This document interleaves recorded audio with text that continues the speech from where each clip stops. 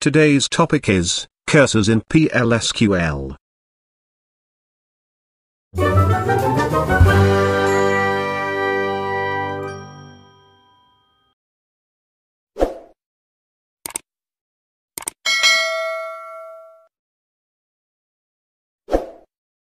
What is a cursor? Before knowing about cursor, we have to first understand, what is context area? For processing an SQL statement, Oracle creates a memory area. This memory area is called context area. Context area contains all the information needed for processing the statement. Now coming to cursor, a cursor is a pointer to this context area. A cursor holds the rows, returned by a SQL statement. The set of rows the cursor holds, is referred to as the active set. There are two types of cursors. First, is implicit cursors, which are automatically created by Oracle. And the second type, is explicit cursors, which are defined by the programmer. Let's understand the two types of cursors in details. Implicit cursor, Implicit cursors are automatically created by Oracle, whenever an SQL statement is executed, if no explicit cursor is defined for the statement. Programmers can't control the implicit cursors, and the information in it. In PLSQL, the most recent implicit cursor, is referred to as the SQL cursor. Next is explicit cursor. Explicit cursors are defined by the programmer, to get more control over the context area. An explicit cursor is defined, in the declaration section of PLSQL block. It is created on a valid select statement. The syntax of creating explicit cursor, is given below. There are four steps of using an explicit cursor. First step is declaration. In this step, memory is initialized for the cursor. Declaration is done, under the declaration section.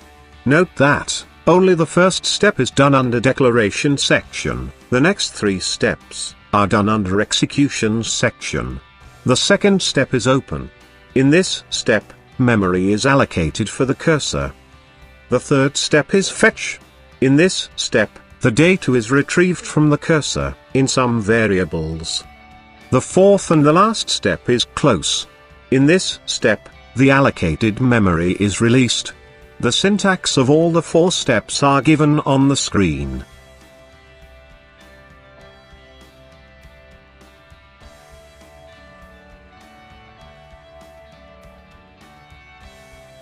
Attributes of a cursor. There are mainly four attributes of a cursor. First is percent %found. It returns true, if the select statement returns at least one row, or at least one row is affected by insert, update, or delete statement. Otherwise, it returns false. Next is percent %not found.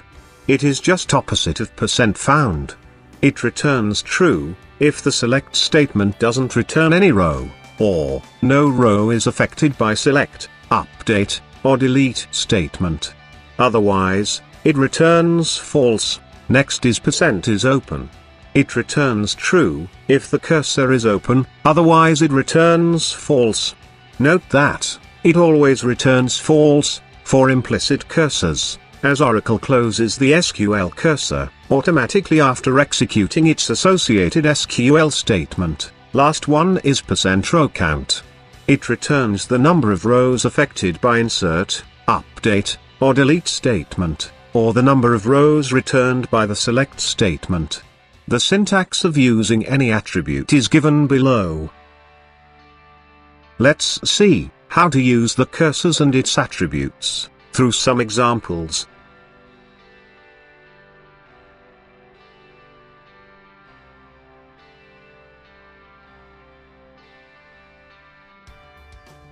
We will use this employee table, in our examples,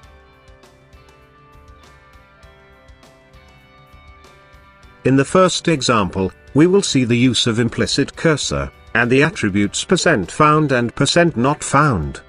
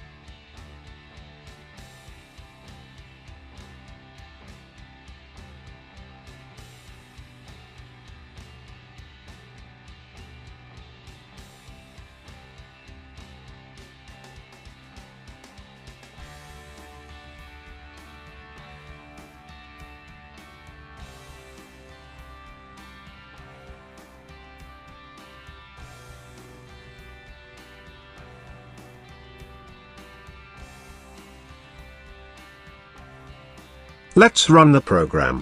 First we will give a valid employee ID, as input, which is present in the table.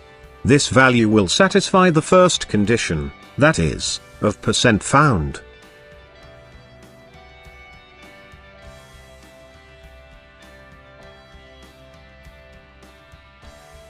So, the output is, delete succeeded. Let's run the program again, this time we will give an employee ID, which is not present in the table. So, this will satisfy the second condition, that is, of percent not found. So, the output is, delete failed, let's go to the next example.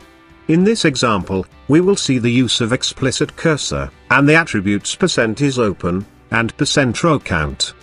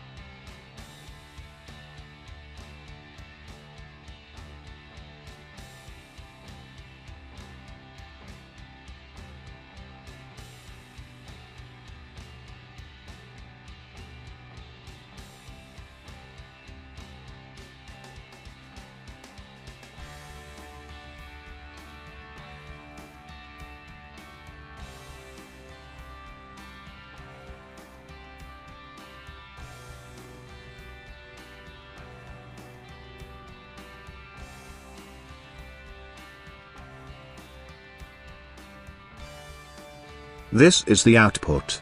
As the cursor has been opened, so the if statement is satisfied, and hence the output is, cursor is open.